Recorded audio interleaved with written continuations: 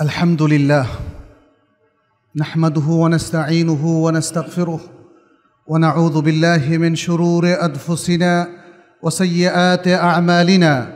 من يهده الله فلا مضل له ومن يضلل فلا هادي له وأشهد أن لا إله إلا الله وحده لا شريك له وأشهد أن محمدا عبد الله ورسوله.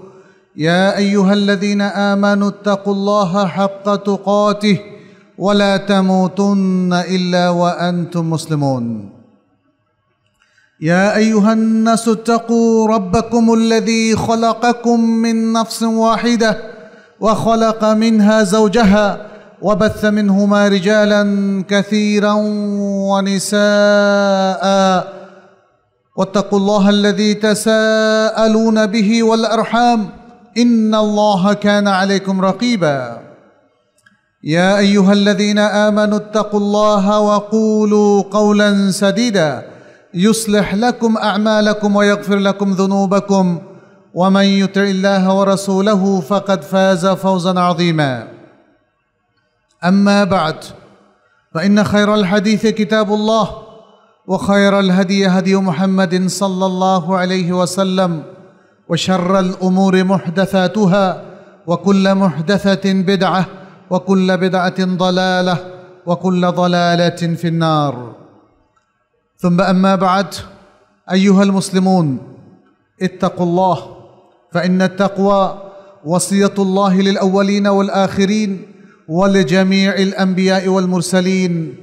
فاتقوا الله في جميع أحوالكم اتقوا الله في أنفسكم وأولادكم اتقوا الله في علانكم وسركم وآمنوا بالله ورسوله واتبعوا سنة نبيكم فإن في ذلك نجاة لنا ولكم أجمعين. نسأل الله سبحانه أن يوفقنا وإياكم لما يحبه ويرضى وأن يتقبل منا صالح الأعمال.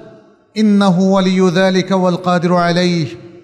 أيها المسلمون تربيه الشباب تربيه اسلاميه صحيحه আমাদের তরুণ সমাজ যারা জাতির আশা ভরসা তাদের সঠিক ইসলামী তারবিয়ত নিয়ে আজকে আমরা কিছু কথা বলবো যখন শৈশবকাল শেষ হয়ে যায় তারপরেই তারুণ্য শুরু হয় যদিও এখন নানা রকমভাবে বয়স নির্ধারণ করা হচ্ছে আমরা কিশোরদেরকেও তরুণ হিসাবেই ভাবি। যখন সে দশ এগারো বছর অতিক্রম করে যায়, তারপর সে কৈশোরে উপনীত হয় ইংরেজিতে একে অ্যাডোলেসেন্স বলা হয়, দ্য এইজ অফ অ্যাডোলেসেন্স। এবং যারা এই বয়সে অবস্থান করে, তারা হলো অ্যাডোলেসেন্ট, তেরো থেকে উনিশ বছর। আমরা এদেরকে বাংলায় কিশোর বলে থাকি। যদিও আঠারো উনিশ বছরের তরুণদেরকে তরুণই বলা যায়। যুবক এবং তরুণ। মোহাম্মদ বিন কাসেম কত বছর বয়সে এদেশে এসেছিলেন এই ভারতীয় উপমহাদেশে? উসামে বিন জেদ রদিয়াল্লাহ তাল্লাহু তাকে নবী সাল্লাহ সাল্লাম সেনাপতির দায়িত্ব কত বছর বয়সে দিয়েছিলেন?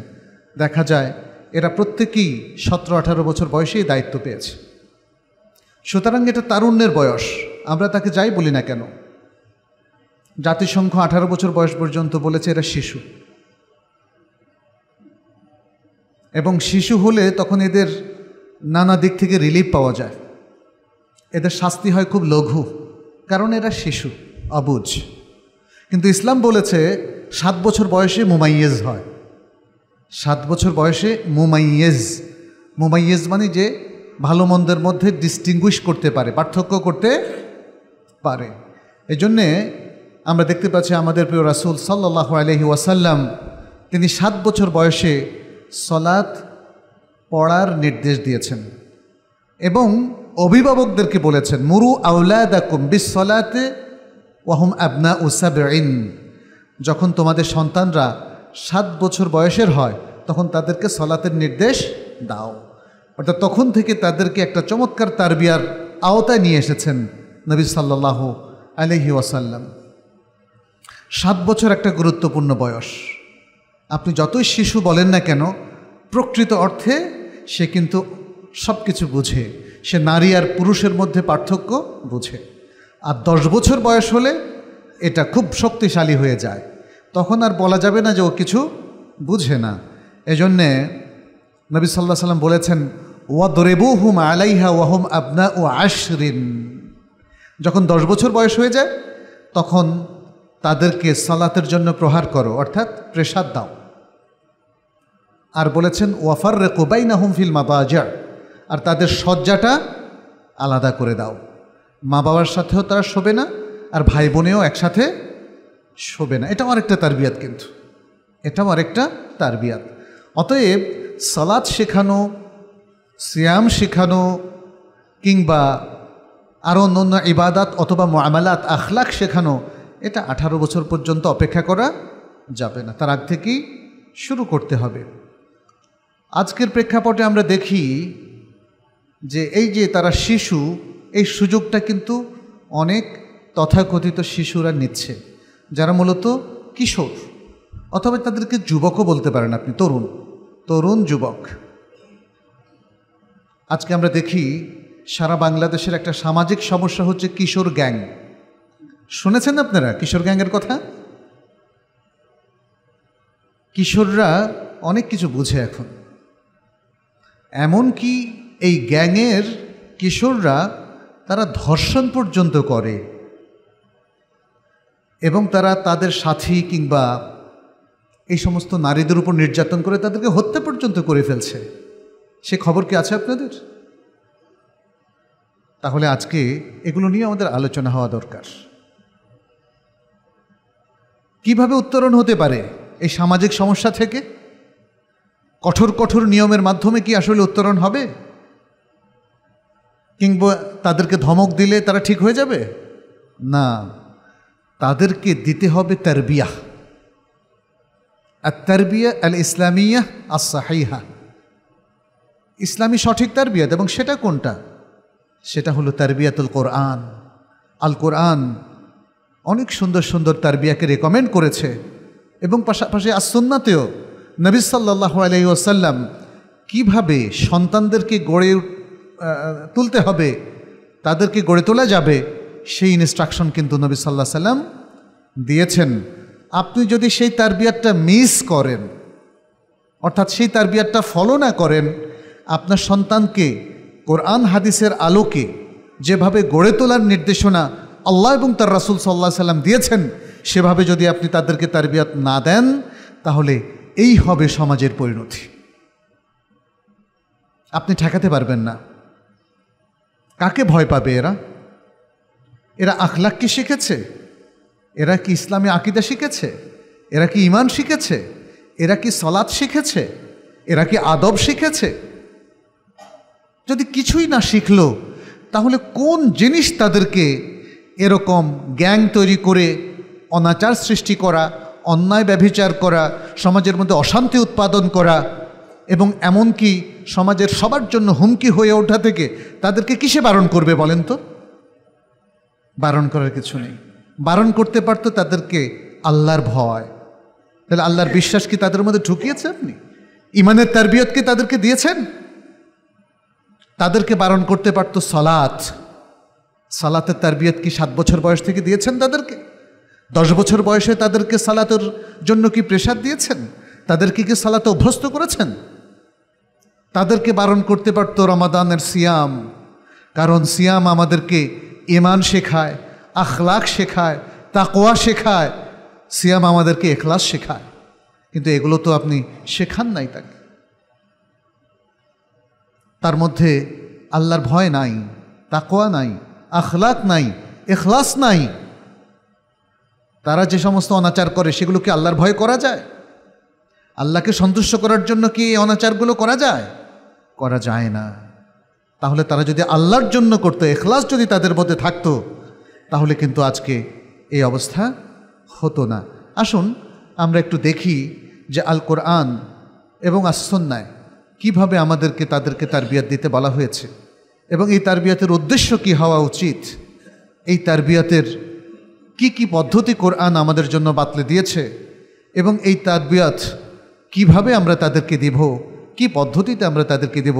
সেটা নিয়ে আমরা একটু আলোচনা করব, যাতে করে আমাদের সবার জন্যই এ বিষয়টা সহজ হয়ে যায়। আমরা এখানে তারবিয়া বলতে যেটাকে বোঝাচ্ছি, তার অনেক সুন্দর সুন্দর সংজ্ঞা আমাদের ওলামাই কেরাম দিয়েছেন। সেটা হচ্ছে সন্তানদেরকে তাদের ভেতর বাহিরের সব কিছু ইতিবাচকভাবে পরিবর্তন করার জন্য শিক্ষিত এবং প্রশিক্ষিত করা। তাদের ভেতর এবং বাহির। ভেতরটা কি? ভেতরটা হচ্ছে তাদের অন্তর।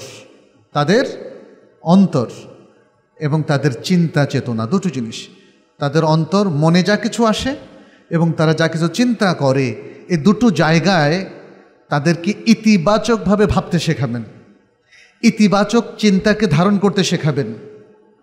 ইমানকে যেন তারা তাদের অন্তরে ধারণ করে, সেটা শেখাবেন। তাহলে তাদের ভেতরটা পরিশুদ্ধ হবে। তাহলেই তাদের ভেতরটা পরিশুদ্ধ হবে। এটাই ছিল নবিয়ানা কাজের একটা কাজ। ওই কি হিম তাদেরকে পরিশুদ্ধ করার জন্য। উম্মাকে পরিশুদ্ধ করার জন্য নবী সাল্লাহ সাল্লাম এসছে।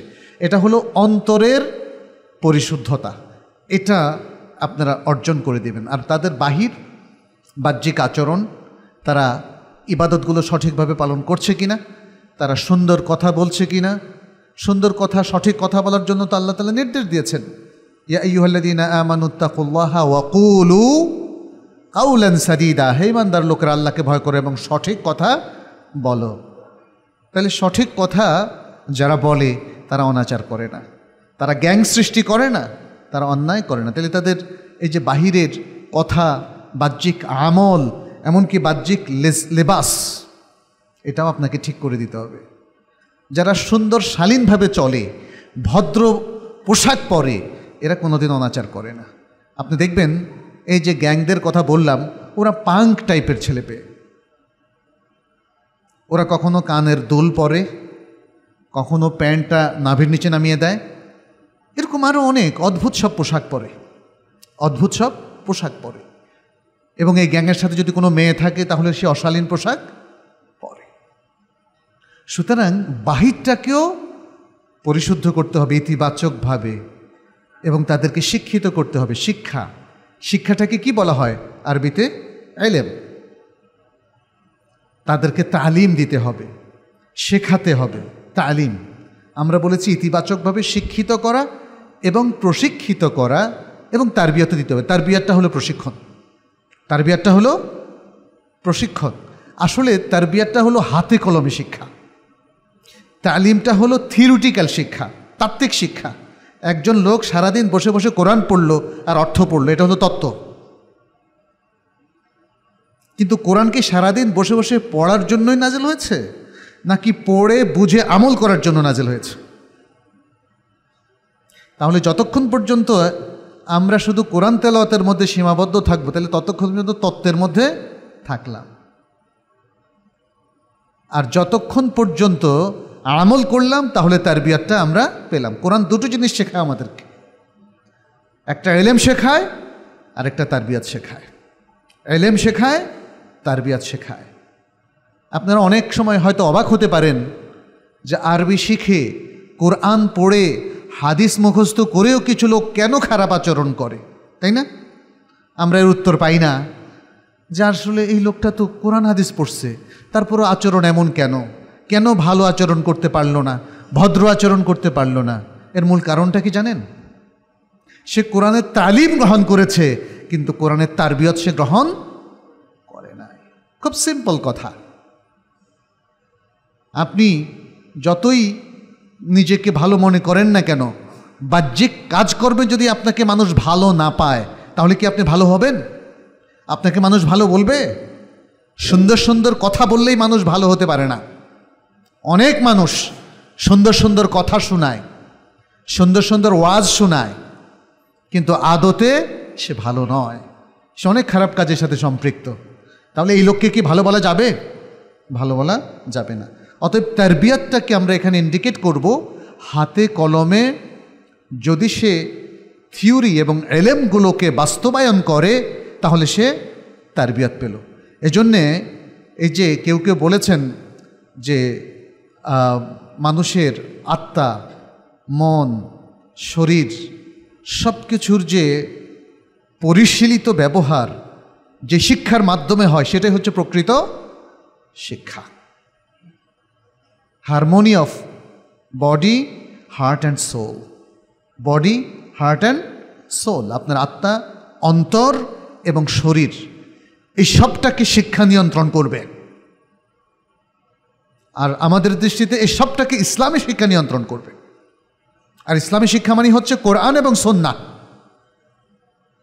আমাদের আত্মা, আমাদের মন, আমাদের বডি, এই যে বডি হাত, পা, চোখ, নাক, এগুলোর ব্যবহার, এ সব কিছুকে নিয়ন্ত্রণ করবে ওয়াহি, কোরআন এবং সুন্না ইসলামী শিক্ষা। তাহলেই সে প্রকৃত তারবিয়ত পেয়েছে বলে গণ্য হবে। এটাই হচ্ছে সেই তারবিয়ত। যে তারবিয়ত আমরা আমাদের যুবকদেরকে দেওয়ার কথা বলছি। আমাদের যুবকরা যদি কোরআনের এই তারবিয়তটা পায়, তাহলে অবশ্যই তারা এ যুগের শ্রেষ্ঠ সন্তান হতে পারবে। এ যুগের শ্রেষ্ঠ প্রজন্মে পরিণত হতে পারবে। আর যদি আপনি তাদেরকে ছেড়ে দেন, তাদেরকে দিন ইসলাম থেকে বিমুখ করে দেন, কোরআন থেকে বিচ্ছিন্ন করে দেন, হাদিস থেকে তাদেরকে ডিটাচ করে দেন, তাহলে এই প্রজন্মকে আপনি যত আধুনিক শিক্ষায় নিয়ে আসেন না কেন, যত বিত্ত বৈভব তাদেরকে উপহার দেন না কেন, যত আধুনিক ইকুইপমেন্ট তাদেরকে দেন না কেন, তারা কোনো দিন ভালো হতে পারবে না।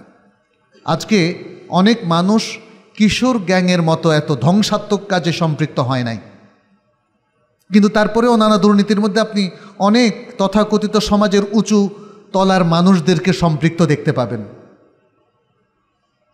দেখতে পাবেন এরা ব্যাংক থেকে হাজার হাজার কোটি টাকা লুট করে চলে গেছে, বিদেশে পাচার করেছে।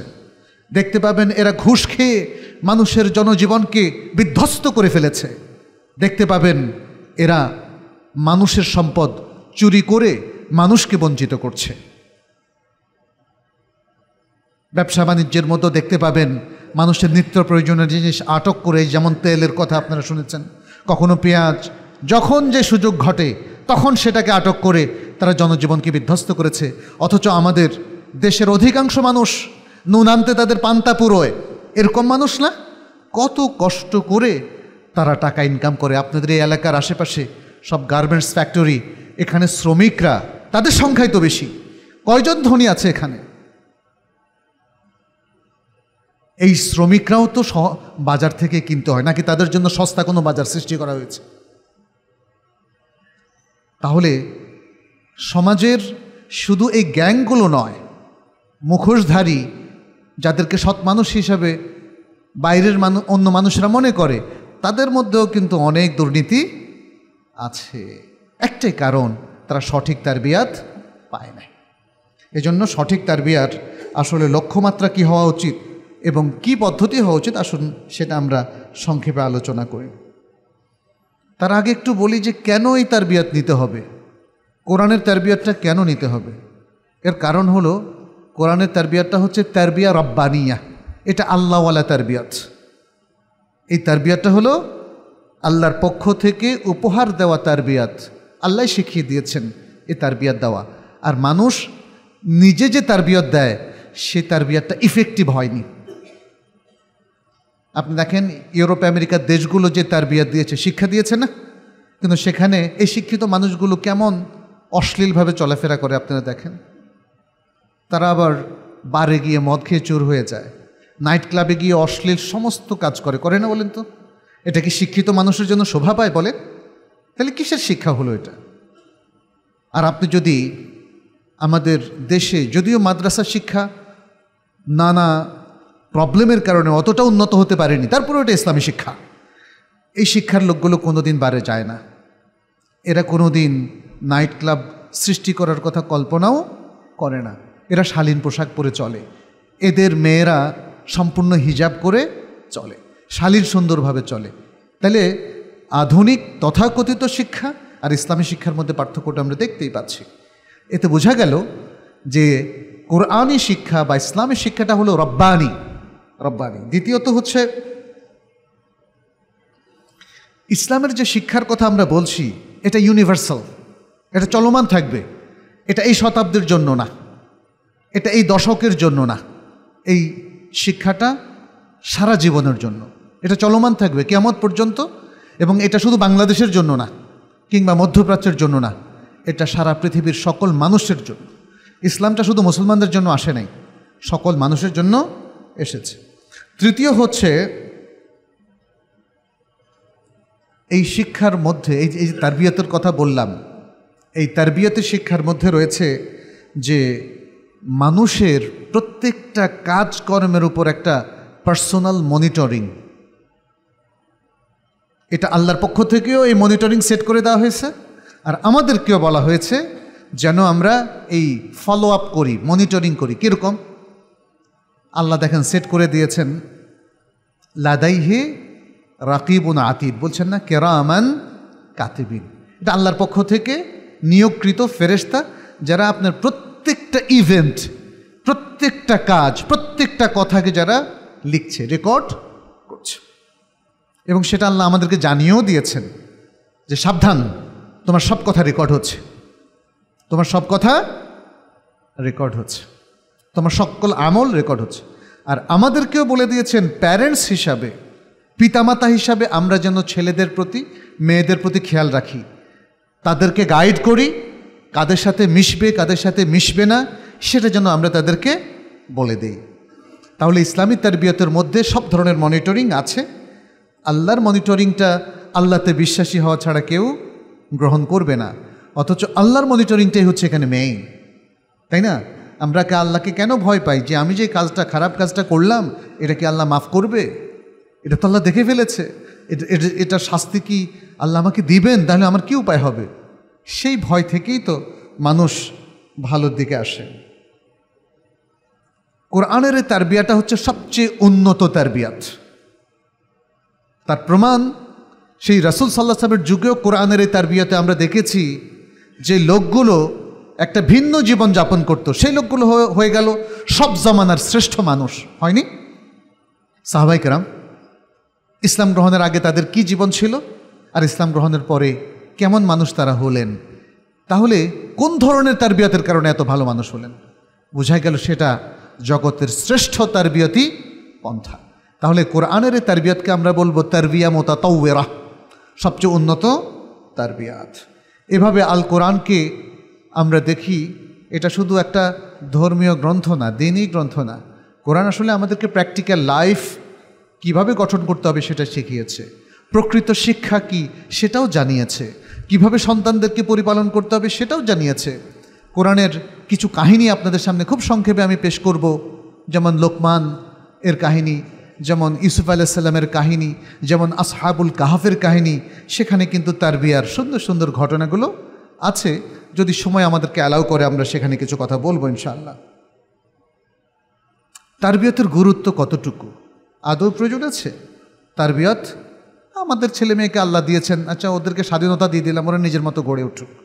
এভাবে ভাববো? নাকি আমরা ভাববো যে আমাদের সন্তান আল্লাহর আমানত? আমাদের সন্তানকে সঠিক তারবিয়ত দেওয়া, ইসলামী তারবিয়ত দেওয়া এটা ফরজ। আমরা জিনিসটা কি এভাবে ভাববো নাকি ওদেরকে ছেড়ে দেব? আমার প্রিয় ভাইরা সন্তান কিন্তু আল্লাহর আমানত। সন্তানকে সঠিক তারবিয়া না দিলে আপনাকে আল্লাহ তালা জিজ্ঞাসাবাদ করবেন।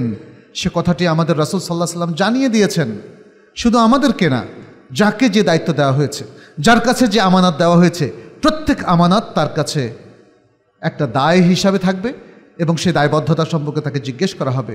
নবী সাল্লাহ সাল্লাম বলেছেন, আলা কুল্লুকুম রাইন ওয়া কুল্লুকুম বাস উলুন আন রাইয়াচি জেনে রাখো, তোমরা প্রত্যেকে দায়িত্বশীল এবং তোমাদের প্রত্যেককে তার দায়িত্ব সম্পর্কে জিজ্ঞাসাবাদ করা হবে। অতএব আপনি আমার ভাবার অবকাশ নেই আমার সন্তান, আমরা অনেক সময় বলি, আমার সন্তানকে আমি মারবো, কাটবো, ধরবো, আপনার কি? না, আমারও আছে। আমি যখন দেখব আমার প্রতিবেশী তার সন্তানকে মেরে রক্তাক্ত করে ফেলছে, আমি তাকে ঠেকাবো। আমি তাকে ঠেকাবো। আপনার সন্তান বলে আপনি তাকে হত্যা করবেন? আপনি তাকে আহত করবেন? আপনার ছাত্র বলে আপনি তাকে টর্চার করবেন? এটা ইসলাম অ্যালাউ করে না। শিক্ষকও অ্যালাউড না তার ছাত্রকে সে ফিজিক্যাল টর্চার করবে, রক্তাক্ত করে দেবে, কান কেটে দেবে, আহত করবে এবং বাবা মাও অ্যালাউড না। বাবা মারও এই অনুমতি শরীয়তে নাই যে নিজের সন্তান হওয়ার কারণে সে সব ধরনের অত্যাচার নির্যাতন তাকে করতে পারবে। যদিও তার নিয়ত ভালো হয়, যে না, আমি তাকে তার বিয়াত দেওয়ার জন্য মেরেছি। এই ধরনের তার বিয়াত রাসুল সাল্লাহ সাল্লাম কবে দিয়েছিলেন বলেন? রাসুল সাল্লাহ সাল্লামের যুগে কি শিশু ছিল না? বাচ্চারা ছিল না? কিশোররা ছিল না? তিনি তাদেরকে ফিজিক্যাল টর্চারের মাধ্যমে শিক্ষা দিয়েছেন এরকম। একটা দৃষ্টান্ত দেখান তো।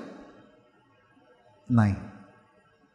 তাহলে আমাদেরকে ফিরে যেতে হবে কোরআনের কাছে, হাদিসের কাছে। তিনি ফিজিক্যাল টর্চার অর্থাৎ শারীরিক নির্যাতন না করেও তাহলে কীভাবে একটা প্রজন্মকে, একটা সমাজকে এত সুন্দর করে গড়ে তুললেন? যে নারীদেরকে আজকের মুসলিমরা ঠিক রাখতে পারছে না। আমাদের মুসলিম নারীদের কথাই বলছি। মুসলিম যুবতীদের কথা বলছি। ওরা অন্য ধর্মের সংস্কৃতিকে ফলো করে। অন্য সংস্কৃতির, যেমন পাশ্চাত্য সংস্কৃতির পোশাককে ওরা পছন্দ করে। ঠেকাতে পারতেছেন? ঈদ আসলে দেখেন তারা হিন্দু আনা সব পোশাক পছন্দ করে। ইসলামী পোশাক তাদের পছন্দ না। অনেকের, সবার কথা বলছি না।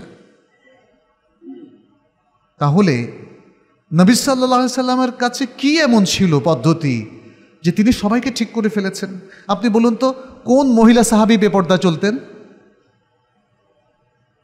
বলেন তো, কোন সাহাবি মদ পান করতেন?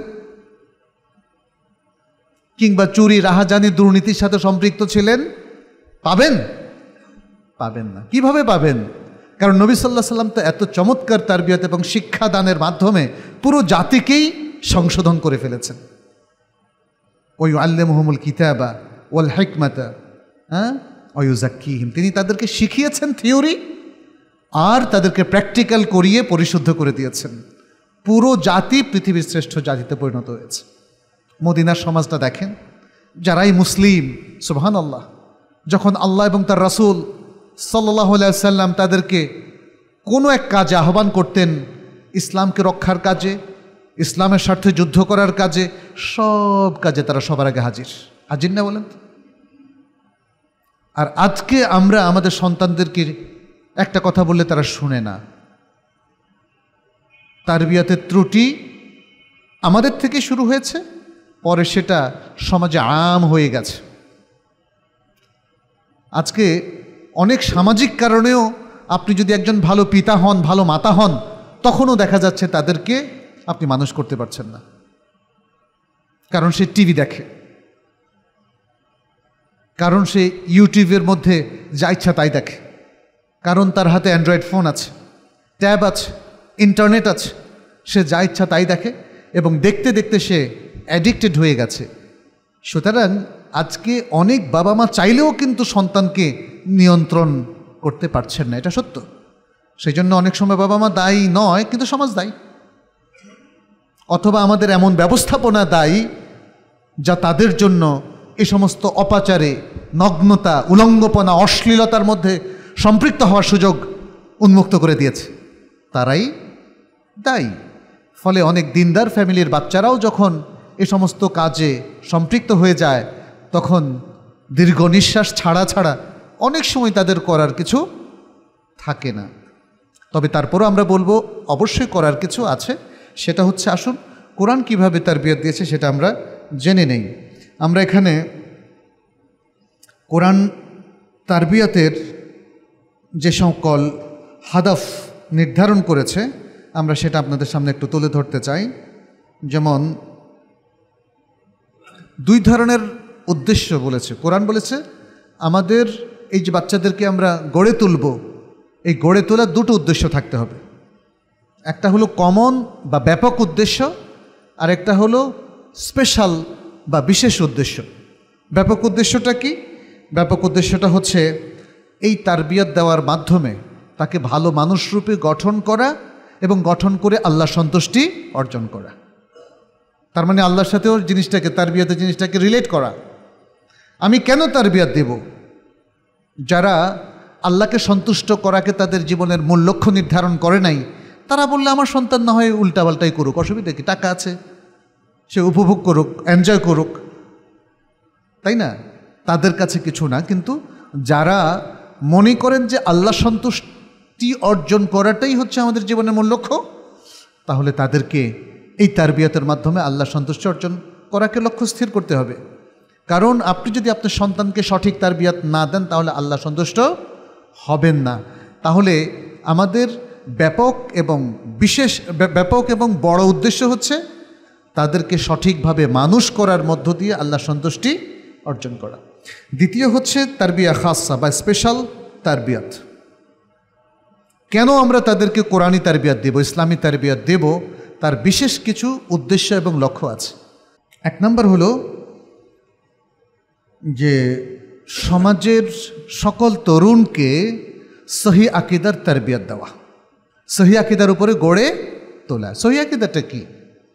অনেকেই এখন সহি আকিদা সহি আকিদা বলতে অন্যরকম কিছু বুঝান। আসলে সহি আকিদা হচ্ছে বিশুদ্ধ আকিদা আল্লাহর ব্যাপারে। আল্লাহর ব্যাপারে যেন সে কোনো ভুলের মধ্যে না থাকে। আল্লাহর নাম, আল্লাহর গুণাবলী, আল্লাহর কাজ আল্লাহর সৃষ্টি তত্ত্ব, আল্লাহর দেওয়া প্রোগ্রাম সব কিছুর ব্যাপারে তার জন্য কোনো ভুল ধারণা না থাকে। এটাই সহি আকিদা। পাশাপাশি আকিদার আরও অন্য অন্য বিষয়গুলো আছে। নবী রাসুলদের প্রতি আকিদা, ফেরেশতাদের প্রতি আকিদা, আল্লাহর গ্রন্থসমূহের প্রতি আকিদা, আখেরাতের প্রতি আকিদা, তাকদিরের প্রতি আকিদা। এই সব কিছুতে যেন তারা কোনো ভুলের মধ্যে না থাকে, এমনভাবে তাদেরকে তার তারবিয়াত দেওয়া। আমরা অনেককে দেখতে পাচ্ছি আজকে আল্লাহ সম্পর্কে অনেকে ভুল ধারণা করে বসে আছে। আল্লাহর অনেক সেফাতকে অস্বীকার করে বসে আছে। নবী সাল্লাহ সাল্লামকে আল্লাহর জায়গা নিয়ে গেছে অনেকে। আবার নবী সাল্লাহ সাল্লামকে আরও নিচে নামিয়ে দিয়েছে অনেকে। আল্লাহর জায়গা নিয়ে গেছে যারা মনে করে যে নবী সাল্লাহ সাল্লামও গায়েব জানতেন, অমুক তমুক আরও কত কথা। আর আল্লাহ থেকে নিচে নিয়ে গেছে, এটা সাধারণত যারা আল্লাহতে বিশ্বাসী নয় তারা। কয়, মানুষ। আমাদের মতো একজন মানুষ যে পড়ালেখা জানতো না। ও ইয়াদুবিল্লাহ এভাবে তারা নবী সাল্লাহ সাল্লামকে অবমূল্যায়ন করে তার উপর অনেক ব্লেম দিয়েছে, যেটা আমরা ওরিয়েন্টালিস্টদেরকে দেখি। প্রাচ্যবিদ, ইউরোপ, আমেরিকার যারা ইসলামিক স্টাডিজের জ্ঞানী, গুণী, খ্রিস্টান, ইহুদি, তারা কিন্তু নবী সাল্লাহ সাল্লামকে, নবীর পরিবারকে, আমাদের ইসলামকে অনেক ব্লেম দিয়েছে। তারা করেছে অবমূল্যায়ন, আর এক শ্রেণির সুফিরা করেছে অতি মূল্যায়ন অতি মূল্যায়ন করে তারা কেউ আল্লাহর জায়গা নিয়ে গেছে আর কেউ তাকে এমনকি ভালো মানুষের জায়গায়ও রাখে নাই। আজকের যুবকরা যদি সঠিকভাবে তারবিয়াত না পায়, তাহলে তারা কেউ ওই দলে যোগ দেবে অথবা এই দলে যোগ দেবে। এরকম আপনি অনেক পাবেন অনেক পাবেন। আল্লাহ আমাদেরকে রক্ষা করুন। দ্বিতীয়, আরেকটা যে উদ্দেশ্য সেটা হলো মুসলিম সমাজের সকল তরুণকে সুন্দর আখলাখ, ভদ্রতা, সৌজন্যতাবোধ, আদব শেখান। এটা শেখানোর ব্যাপার কিন্তু। যদি আপনি আদব না শেখেন, তাহলে সে মাদ্দাব হবে না। বরং অধিকাংশ ক্ষেত্রে সে আপনার সাথেও বেয়াদবি করবে। আজকের অনেক সন্তানকে দেখি বাবার সাথেও বেয়াদবি করে। করে না বলেন তো? মায়ের সাথে বেয়াদবি করে। আত্মীয় স্বজনের সাথে বেয়াদবি করে, মানুষের সাথে বেয়াদবি করে। এর মূল কারণ হলো আদব শেখে নাই। আপনারা জানেন এটা উর্দু বা ফার্সি শব্দ। বে আদব মানে আদবহীন। আদবহীন, আমাদের এসে এটা হয়ে গেছে একটা গালির মতো, না? যে আদব শেখেনি, সেই আদবহীন। আদব না শিখলে আদবহীন থাকবে। আদব শিখলে সে মুআদ্দাব হবে, ভালো আখলা আখলাকি হবে অতএব এটা তার বিয়তের অন্যতম প্রধান উদ্দেশ্য। শিক্ষার একটা মহান লক্ষ্য হচ্ছে মানুষকে ভদ্র করা, আদব কায়দা শেখানো, আখলাকি করা, সচ্চরিত্রবান করা। তৃতীয় হচ্ছে এই তারবিয়াতের মাধ্যমে তাদের মধ্যে ইমানি ভ্রাতৃত্ববোধ তৈরি করা। পৃথিবীর সকল মোমিনের প্রতি তার স্পেশাল ভালোবাসা থাকবে। সকল মুসলিমের প্রতি সে তা অনুভব করবে। কোনো মুসলিমের সাথে সে খারাপ সম্পর্ক করবে না। কিন্তু আজকে আমাদের সমাজে দেখেন, মুসলিমে মুসলিমের সম্পর্কটা দেখেন একটু। তাই না? আর কিশোর গ্যাং যাদের কথা বলছেন, ওরা তো এমন গ্যাং যারা নিজের বন্ধুকে মেরে ফেলে। একটু কথা নড়চড় হয়েছে, দিল ঘুষি অথবা লাঠি দিয়ে পেটা অথবা ছুরি চালিয়ে দিল। বলেন তো এগুলো হচ্ছে না দেদার্সে? এগুলো হচ্ছে। আচ্ছা তাহলে আমাদের মধ্যে সত্যিকারের আখলাকের বীজ বপন করা, যাতে এই সন্তান যত বড় হবে, তত ভদ্র হবে। যত বড় হবে, তত আদবওয়ালা হবে। তাকে দেখে আমাদের নয়ন জোড়াবে। ভাববো যে, আহ, কি ভালো একটা তরুণ। সুহান এরপরে আরেকটি হচ্ছে, আমাদের প্রত্যেক তরুণ তরুণীকে, এই প্রজন্মের সবাইকে সমাজের উপকারী ব্যক্তিত্বে পরিণত করা। তারা যেন সমাজের অপকার না করে, সমাজের ক্ষতি না করে। তারা যেন কলেজের সামনে দাঁড়িয়ে মেয়েদেরকে টিজ না করে। তারা যেন কারও উপর হামলা না করে। তারা যেন রাস্তার আলো আধারির মধ্যে সন্ধ্যাকালে দাঁড়িয়ে ছিনতাই না করে। বরং তারা যেন এগিয়ে আসে যে কোনো অন্ধকে রাস্তা পারাপারের ব্যাপারে, যে কোনো বৃদ্ধ লোককে, স্যার, আপনাকে আমি কি করতে পারি? খুবই সম্মানজনকভাবে তাকে আহ্বান করবে। কোনো যদি ইসলামী ব্যক্তিত্ব থাকে শেখ আপনার কি কোনো উপকারের প্রয়োজন আছে কি না? এভাবে সমাজের সবার উপকার করবে। নিজের পরিবার নিজেরও উপকার করবে।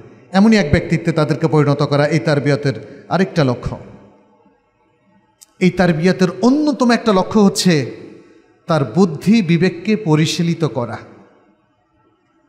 তার বুদ্ধি বিবেককে পরিশীলিত করা, পরিচ্ছন্ন করা, সঠিক করা। কারণ আজকের অনেক মুসলিমদের বুদ্ধিগত সমস্যা তৈরি হয়েছে।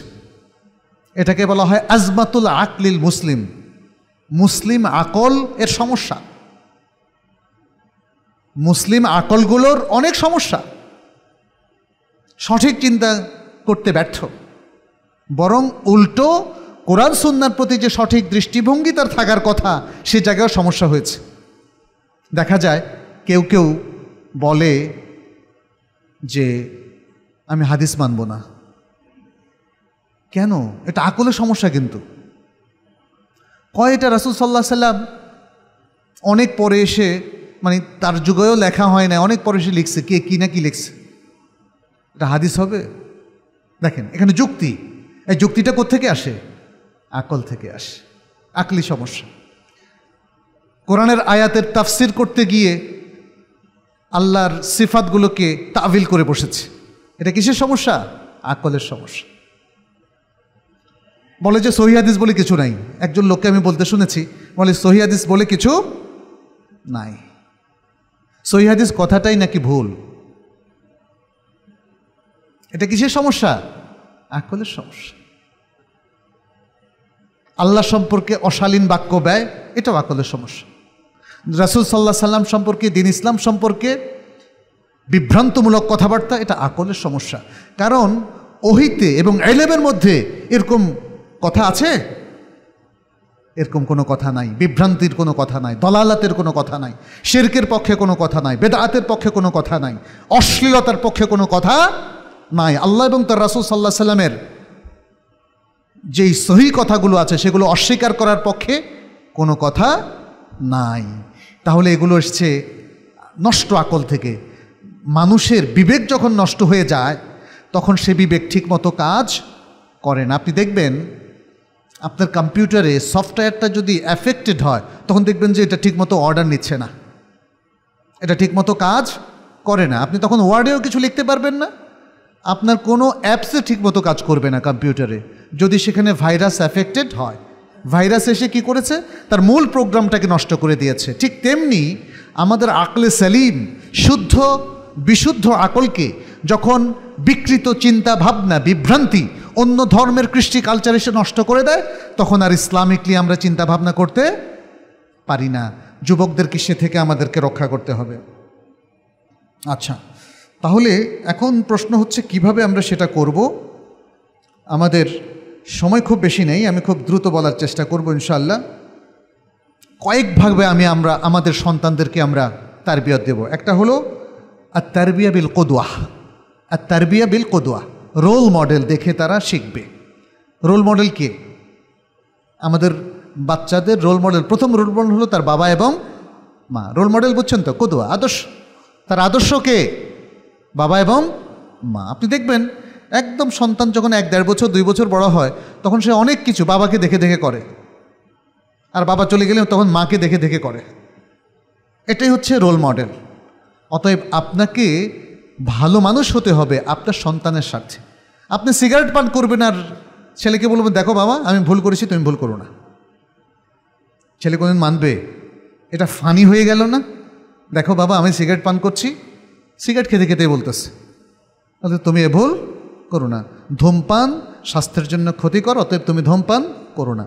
তখন ছেলে বলবে, বাবা, তাহলে তুমি কেন করছ? বলছে, আমি তো ভুল করেছি। সুন্দর উত্তর মানে বাবা মনে করতেছে সুন্দর উত্তর। এটা কি সুন্দর উত্তর হলো? আরব দেশের একটা ক্লাসের গল্প, প্রত্যক্ষ গল্প আমি একজন ভাইয়ের কাছে শুনেছিলাম। উনি বলেছিলেন যে এক ভদ্রলোক, আরব দেশে আবার অনেক অদ্ভুত ব্যাপার স্যাপার আছে। তারা একটু উদার হয়ে গেছে বেশি। দেখবেন যে কোট প্যান্ট, টাই পরে জমার খোদবা দিচ্ছে, জমার নামাজ পড়াচ্ছে। আলহামদুলিল্লাহ যে আমাদের বাংলাদেশে আমরা এটা অ্যালাউ করিনি। আবার বাংলাদেশে দেখলাম অনেকে বলে যে এটা অ্যালাউ করা উচিত। বাংলাদেশে অনেককে বলতে শুনি যে এটা অ্যালাউ করা উচিত। আসলে যে জায়গায় জুমার খতিব এবং জুমার ইমাম দাঁড়াবেন, সে জায়গা তো অনেক সম্মানের জায়গা। তাদের আদব আখলাকের লেহাজ অনেক বেশি থাকা উচিত, তাই না? তার একটু একটু ভায়োলেশন ডেঞ্জারাস এই ভদ্রলোক, তিনি তাফসির পড়াচ্ছিলেন আর সিগারেট ফুঁকছিলেন।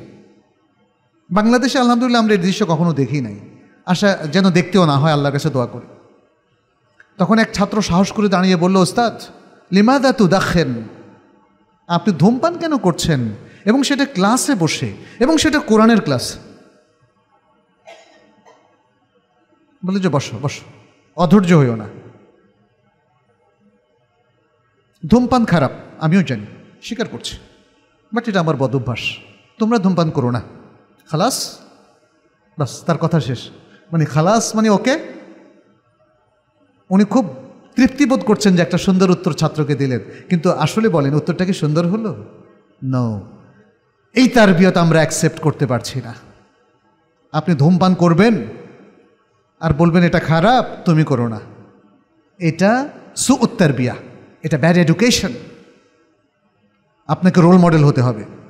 আপনি শিক্ষক হন আর পিতামাতাই হন, আপনাকে আদর্শ জায়গা থাকতে হবে। কারণ এই আদর্শ দেখে মানুষ শিখবে। রাসুল সাল্লা সাল্লাম সে আদর্শ দেখিয়েছিলেন, কানা খুলুকুয়াল কোরআন তার আখলাক ছিল কোরআন। এবং এই কারণে সারা বিশ্ব এত দ্রুত সংশোধন হলো। তার আশপাশের সমস্ত মানুষ চমৎকারভাবে সংশোধন হয়ে গেল এই মডেল হওয়ার কারণে। রাসুল সাল্লাহ সাল্লাম ছিলেন আমাদের মডেল, সমস্ত জাতির মডেল, সমস্ত মানবতার মডেল। লাকাত কান আলাকুম ফি রাসুল ইল্লাহি ওসুয়াতুন হাসানা। এটাই আমরা বলছি, এটা হবেন তাহলে বাবা মা এবং যারা বাচ্চাদেরকে তারবিয়ত দেবেন, তাদেরকে আদর্শ হতে হবে। মিথ্যা কথা বলতে পারবেন না। বলতে পারবেন না, এই মোহাম্মদ বলে দাও যে তোমার আব্বু বাসায় নাই। বুঝতে পারছেন? তখন বলে যে আমার আব্বু বলেছে যে উনি বাসায় নেই। আচ্ছা, মেহমানকে বলবে অথবা যে আগন্তককে বলবে আমার আব্বু বলেছে যে সে বাসায় তো মেহমান কি বুঝবে বলেন তো? বাবাও মিথ্যুক ছেলেও মিথ্যুক। তা তোমার আব্বু যদি বাসায় না থাকে কেমনে বলছে? তাই না? আল্লাহ হেদায়ত করুক। সুতরাং বাবা মাকে মা যদি বলে মা দেখ তোকে ইসলামিক স্কুলে দিয়েছি, হিজাব করবি ঠিক মতো মা নিজে হিজাব করেন এই দৃশ্য আমি নিজেও দেখেছি বিদেশে। এক ইসলামিক স্কুলে দেখলাম যে এক মা, তার মাথায় হিজাব নাই, বিশ্বাস করেন, মাথা খোলা আর ছোট বাচ্চাটা, যার বয়স ছয় কি সাত, কি সুন্দর হিজাব পরায় নিয়ে নিয়েছে এখন আর আপনারাই বলেন, এই ছয় বছরের বাচ্চা হিজাব না করলে সমস্যা আছে? মায়ের হিজাব করাটা উচিত ছিল। মায়ের হিজাব করাটা উচিত ছিল। এইভাবে আপনি বাচ্চাকে তার বিয়া দিতে পারবেন না। এটা কিছু উদাহরণ দিলাম আমি। দ্বিতীয় হচ্ছে আর তার বিয়া বেল মাওয়দা।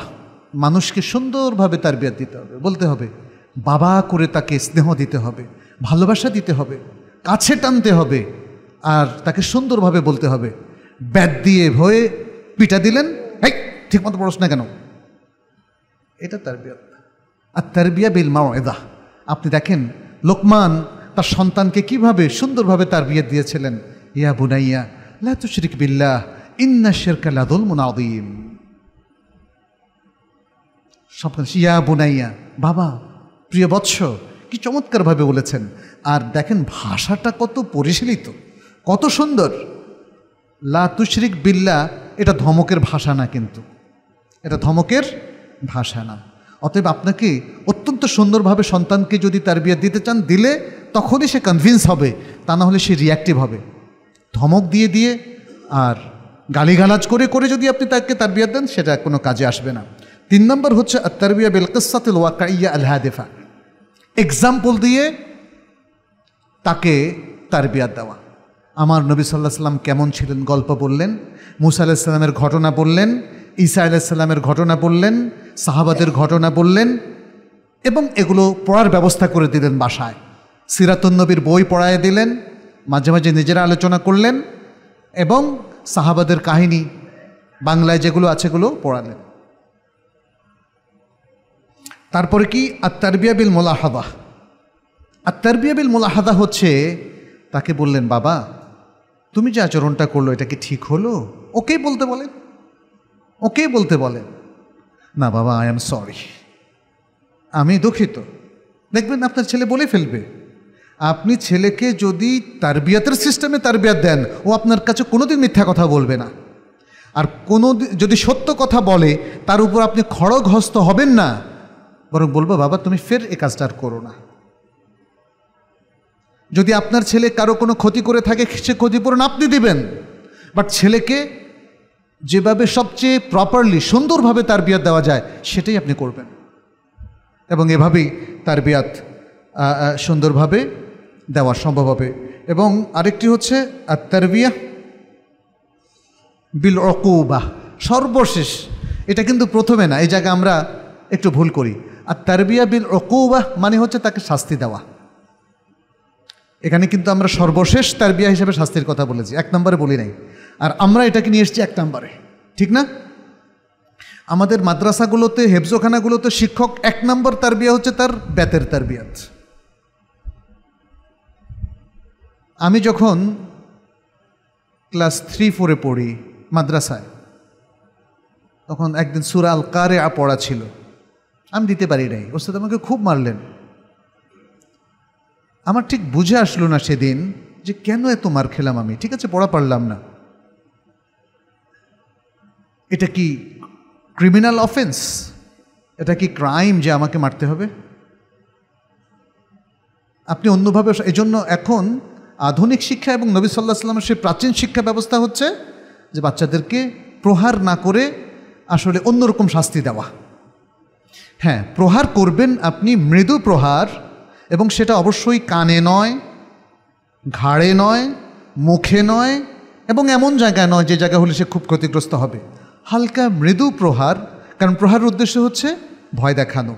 আসলে শাস্তি দেওয়া ফিজিক্যাল টর্চার করা নয়। তারপরেও সেটা কখন করবেন? যখন দেখবেন যে সে ক্রিমিনাল অফেন্স করেছে, অর্থাৎ কোনো অপরাধ করে বসছে, একজনের দাঁত ভেঙে দিয়েছে।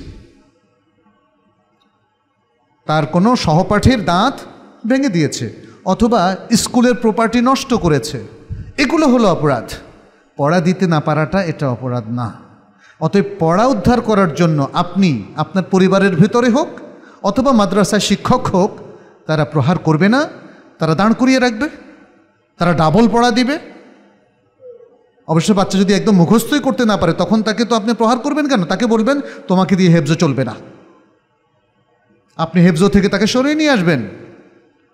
একটা বাচ্চা তার যদি মুখস্থ শক্তি না থাকে, তাকে কি একশো ঘা বাদ দিলে সে মুখস্থ ব্যাদ দিলে সে কি মুখস্থ করতে পারবে? আল্লাহ আকবার। কেন ভুলে যাচ্ছেন আপনি বাবা হিসাবে, মা হিসাবে? কেন ভুলে যাচ্ছেন আপনি হেফজের শিক্ষক হিসাবে?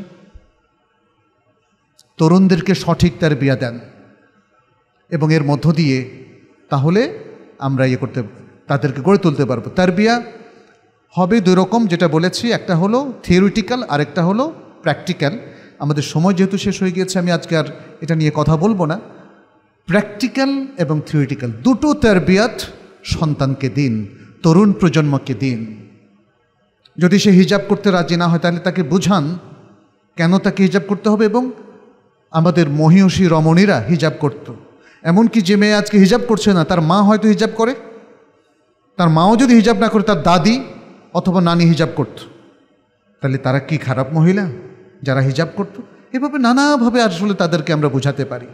আমলি, এই যে এক্সাম্পল থেকে বোঝানো, কেসা থেকে বোঝানো, নবী সাল্লা সাল্লাম এবং তার মহিলা সাহাবি, পুরুষ সাহাবিদের কেসা থেকে বোঝানো এবং আমাদের মধ্যে এক্সিস্টিং যে মডেলগুলো আছে, যে আদর্শগুলো আছে, সেখান থেকে বোঝান এবং তাদের সাথে সামনাসামনি কেস টু কেস বসা, তাদেরকে কাউন্সিলিং করা। যদি আমি তাদেরকে কাউন্সিলিং করে ঠিক করতে না পারি, তাহলে মসজিদের ইমাম কাউন্সিলিং করবেন।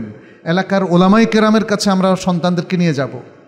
এবং আরও অনেক সুন্দর সুন্দর টিপস আছে যেটা হয়তো সব এই স্বল্প পরিসরে বলে শেষ করতে পারছি না। আপনার পরিবার ভালো, শালীন ইসলামিক পরিবারের সাথে বন্ধুত্ব করবে, তাদের সাথে যাওয়া আসা। আপনি সে সমস্ত পার্টিতে যাওয়া বন্ধ করবেন যেগুলোতে গেলে আপনার সন্তান অশ্লীলতা শিখে, খারাপ কথা শিখে। সর্বাংশে হয়তো এগুলো বাদ দেওয়া যাবে না, কিন্তু যতটুকু সম্ভব আমাদেরকে প্ল্যান প্রোগ্রাম এবং আয়োজন করতে হবে। আয়োজন করলে আজ হোক আর কাল হোক, আমরা একটা ফল পাব। আর যদি আমরা ছেড়ে দেই, তাহলে আমরা কোনো ফলাফলে উপনীত হতে পারব না। বরং সমাজ ক্ষতিগ্রস্ত হবে। আমার আপনার সন্তানরা মিলেই কিশোর গ্যাং করবে। আল্লাহ আমাদেরকে রক্ষা করুক। প্রিয় ভাইরা আসুন আমরা এই ব্যাপারে সচেতন হই। কোরআন এবং হাদিসের দিক নির্দেশনা মেনে সন্তানদেরকে সঠিকভাবে গড়ে তুলি। আকুল কাউলি হাদা ও আস্তাকফিরুল্লাহ আলী ওয়ালাকুম ওয়ালেসা ইরুল মুসলিমিন। ইন্নাহু গাফর রাহিম। আলহামদুলিল্লাহ রব্বিল আলমিন। والعاقبة للمتقين. وأصلي وأسلم على نبينا محمد الذي أرسله الله بالحق بشيرا ونذيرا وداعيا إلى الله بإذنه وسراجا منيرا.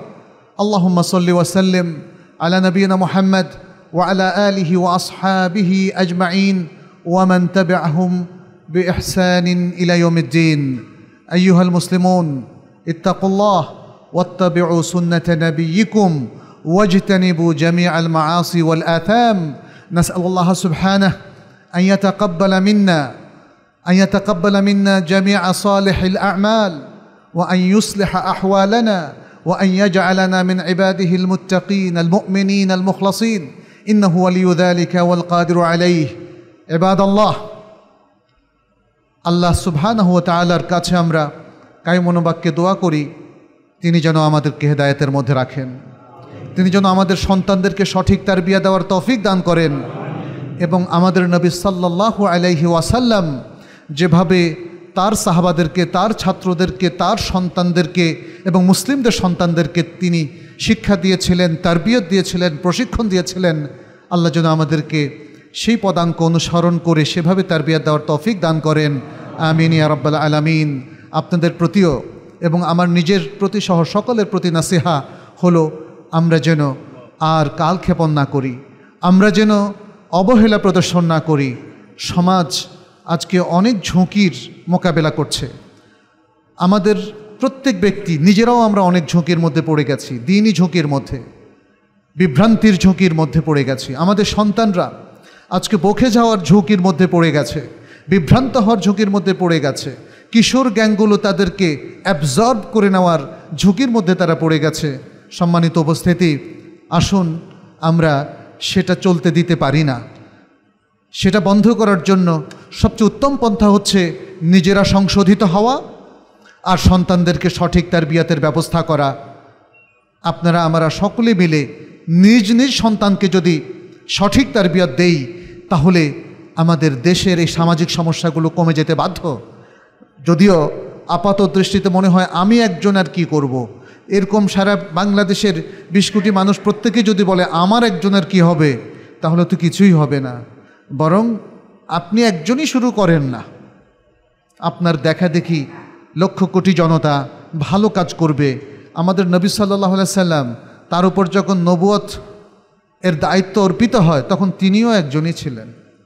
এরপরে পরিবারে আসলেন, পরিবারকে ঠিক করলেন, তাদেরকে দাওয়াত দিলেন এবং তারা সে দাওয়াত গ্রহণ করে অল্প কয়েকজন হলো। আর তখন আল্লাহ তালা কিছুকাল পরে বললেন ও আন্দার আশিরা তাকাল আকরাবিন, তোমার আপন আত্মীয় স্বজনকেও তুমি সতর্ক করো। তাহলে আমি যদি ঠিক হই, আমার পরিবার যদি ঠিক হয়, আমার যে আত্মীয় আত্মীয়দের বলয় আছে, সেখানেও যদি আমি কিছু কাজ করি, এভাবে হয়তো একটা দীর্ঘ সময় লাগবে। কিন্তু একটা সমাজ ইতিবাচকভাবে পরিবর্তন হতে বেশি সময় লাগবে না। চ্যালেঞ্জ আছে অনেক, কিন্তু আপনি, আমি যদি নিজেদেরকে প্রস্তুত করি, আয়োজন করি, চেষ্টা চরিত্র করি, তাহলে অবশ্যই আল্লাহ সফলতা দিবেন। কারণ আল্লাহ সুমাতাল্লাহ বলছেন ওল্লাদিন জাহাদু ফিনা লানাহ দিয়ান্নাহুম সুবুলানা। আর যারা আমার ব্যাপারে, আমার নির্দেশনা বাস্তবায়নের ক্ষেত্রে যারা চেষ্টা চরিত্র করে, অবশ্য অবশ্যই আমরা তাদেরকে সুপথ দেখাবো। আল্লাহ আমাদেরকে হেদায়তের উপর রাখুন। আল্লাহ আমাদেরকে আল্লাহ আমাদেরকে সরল পথ দেখান। আল্লাহ আমাদেরকে সরল পথে চলার তৌফিক দান করুন। আল্লাহ আমাদেরকে কোরআন সন্ন্যার পথে জীবনের সার্বিক কাজ পরিচালনা করার তৌফিক দান করুন। সন্তানদেরকে তার বিয়াদ দেওয়ার তৌফিক দান করুন। আমাদের সমস্ত ভুল বিভ্রান্তিকে আল্লাহ ক্ষমা করে দিন। আমাদেরকে সংশোধন করে দিন। আমাদের বেশি বেশি পূর্ণ করার, ভালো কাজ করার তৌফিক দান করুন। আমাদের সন্তানদেরকে জাতির কর্ণধার বানিয়ে দিন। هذا وصلوا وسلموا على نبينا محمد. فقد قال الله سبحانه إن الله وملائكته يصلون على النبي. يا أيها الذين آمنوا صلوا عليه وسلموا تسليما. وقال النبي صلى الله عليه وسلم من صلى علي مرة صلى الله عليه بها عشرة اللهم صل وسلم وبارك وأنعم على نبينا محمد. وارض اللهم عن الخلفاء الراشدين وعن الصحابة أجمعين وعنا معهم بعفك وكرمك يا أكرم الأكرمين. اللهم أعز الإسلام والمسلمين. اللهم أعز الإسلام والمسلمين واخذل الكفر والكافرين والبدعة والمبتدعين. اللهم تقبل منا ومن المسلمين يا رب العالمين. اللهم أصلح لنا ديننا الذي هو عصمة أمرنا. وأصلح لنا آخرتنا التي إليها معادنا. وأصلح لنا دنيانا التي فيها معاشنا. اللهم اجعل حياتنا زيادة لنا من كل خير. واجعل موتنا راحة لنا من كل شر يا رب العالمين. ربنا لا تزغ قلوبنا بعد إذ هديتنا وهب لنا من لدنك رحمة إنك أنت الوهاب. ربنا أتنا في الدنيا حسنة وفي الآخرة حسنة وقنا عذاب النار. سبحان ربك رب العزة عما يصفون وسلام على المرسلين والحمد لله رب العالمين. وأقم الصلاة.